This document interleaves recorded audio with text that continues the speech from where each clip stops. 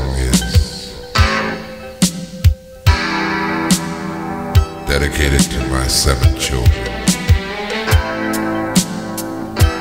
and all the other children of the world. To every